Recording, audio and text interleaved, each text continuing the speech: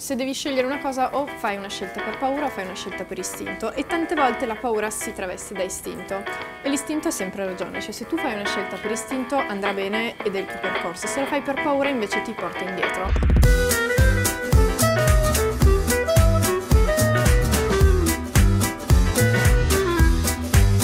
Ciao Giulia, Ciao! che fai?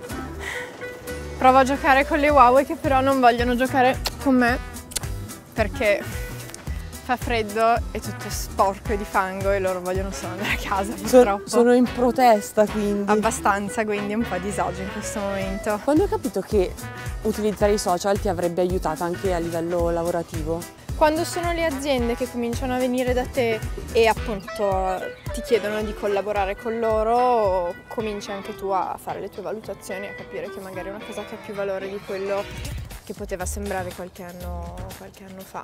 Io penso che chi ha questa voglia e spontaneità di parlare al telefono dentro di sé è un po' entertainer, no? Cioè sei esibizionista un po'. Quindi lo ammettiamo questo. Beh sì, chi, chi, ha voglia di fare queste cose gli piace essere al centro dell'attenzione.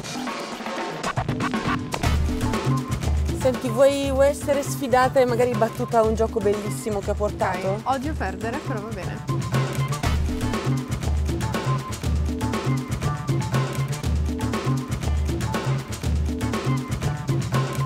Ed è un sacco che non gioco a questo gioco. Non ti preoccupare, tanto vincerò io.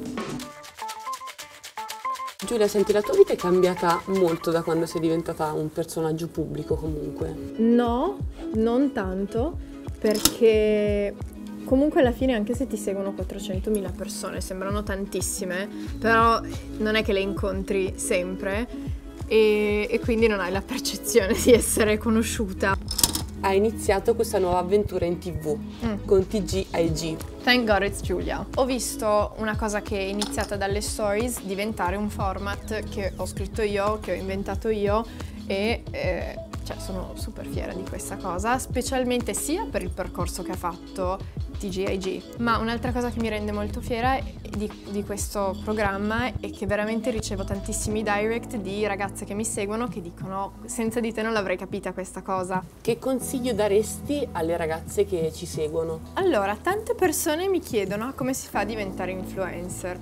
Ognuno di noi deve fare il suo percorso. Se poi tu vuoi comunicare quel percorso e vuoi eh, fare vedere com'è agli altri, puoi farlo. Il mio obiettivo finale è di fare un talk show. Intanto lo sto raccontando su Instagram. Una ragazza può voler diventare una veterinaria e usare i social come mezzo super potente per descrivere com'è quel mondo, per parlare di, di, di delle attività che fa, delle, di qualsiasi cosa. Quindi l'obiettivo non è diventare un influencer, ma se te la senti, raccontare il tuo percorso, ma deve esserci un percorso. A me non sembra che tu possa vincere, però vediamo. Comunque a me piacerebbe... Ho vinto! No, dove? E dov'è? Odio questo gioco, com'è che si fa a togliere tutto e far cadere?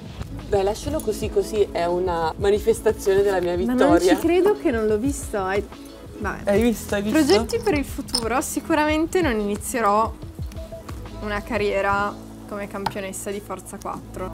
Ciao Frida.